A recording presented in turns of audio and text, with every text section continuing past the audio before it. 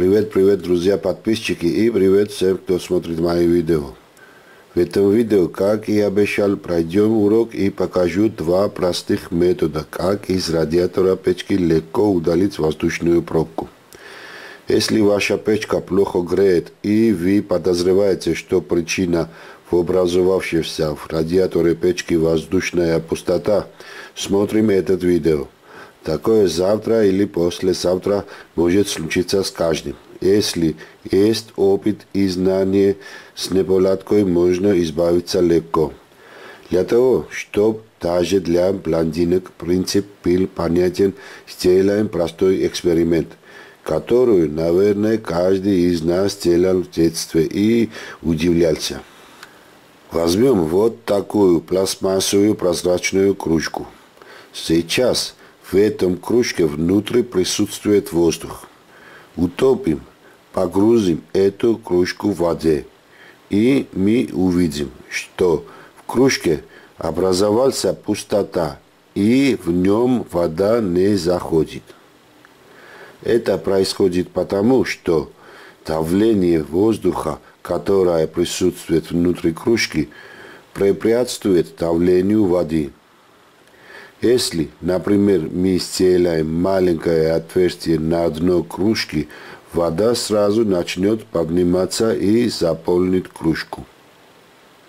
Примерно такой процесс происходит и с радиатором печки. После промывки, ремонта или замены антифриза внутри радиатора может образоваться воздушная пустота, пробка, давление которого препятствует попаданию внутрь радиатора горячего антифриза. И вот поэтому наша печка не может греть салон. Вот и для этого мы и должны выгнать воздух из радиатора. Тут мы видим две патрубки. Один входной патрубок, откуда должно поступить в радиатор горячий антифриз. А через второй патрубок антифриз выходит из радиатора. Тут у меня, как вы видите, все запутано. Трудно доступное место. Чтобы показать, как нам действовать, придется мне снять несколько деталей с двигателя. На многих машинах ничего снять не нужно, и все подрубки радиатора легко доступны. Еще проблема в том, что тут у меня трудно снимать видео и невозможно нормально показывать все действия.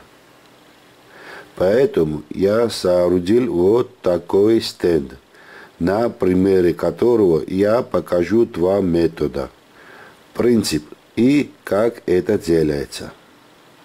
Для начала мы должны определиться, через какой патрубки в радиатор поступает антифриз и через какой выходит.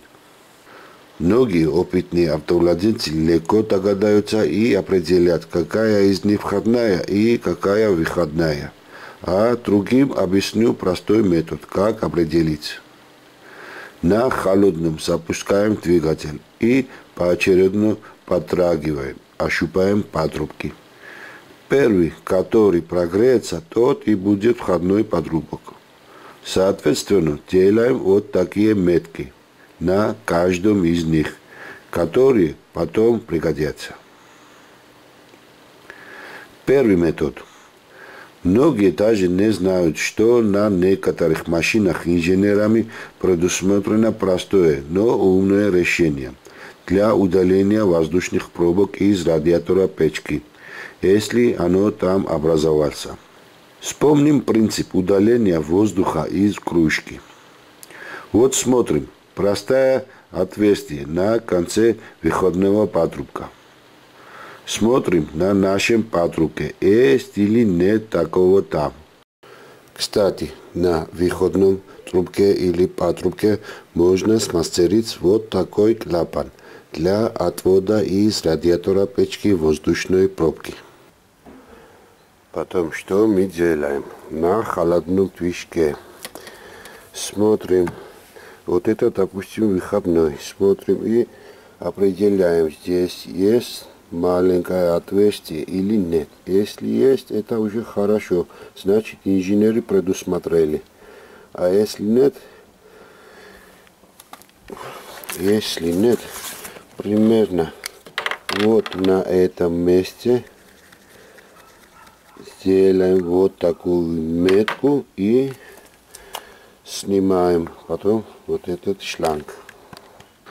Вытаскиваем, снимаем выходной шланг и делаем там отверстие, дырку. Потом надеваем обратно. Заводим двигатель на холодную. Внимание, на холодную, чтобы случайно не обжечься горячим антифризом. И тихо начинаем оттягивать шланг к себе. До конца снимать не надо. Ставим примерно в таком положении и начинаем наблюдать. С отверстий начнется выделение мелких воздушных пузырьков.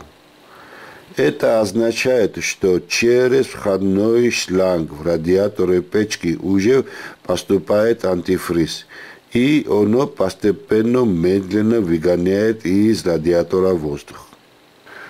Количество воздушных пузырьков постепенно превратится маленьким струем антифриза. И эта струя то увеличится, то уменьшится. Через какое-то время эта струя превратится большим струей, и она начнет беспрерывно выходить из отверстия. Это уже говорит о том, что в радиаторе уже нет воздуха. Можно шланг обратно надеть, вернуть ее в начальном положении и затянуть хомут. Вот и вся философия. Второй метод. Сейчас покажу другой, тоже простой метод, который мне научили в прошлом году в мастерской, когда я промыл радиатор печки. Тоже все процедуру делаем на холодном двигателе. Отсоединяем полностью выходной шланг и стараемся продуть в нем антифриз. Если кто-то боится отравиться от антифриза, можно продуть шланг вот таким простым насосом.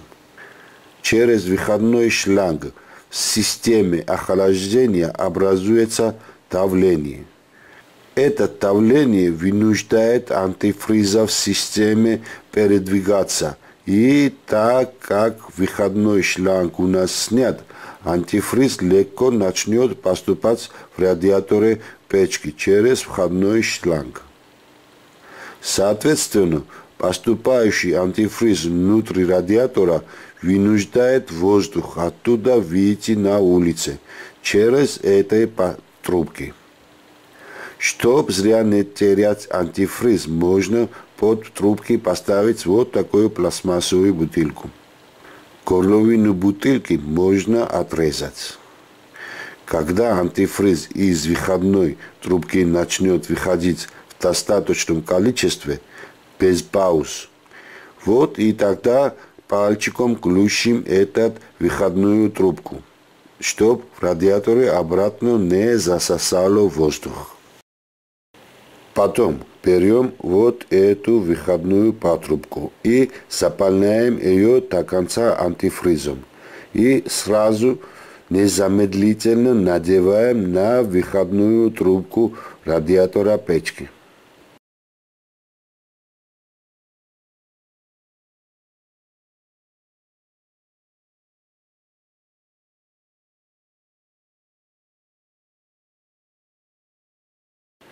Вот и весь секрет. Все согласятся, что все очень просто и логично.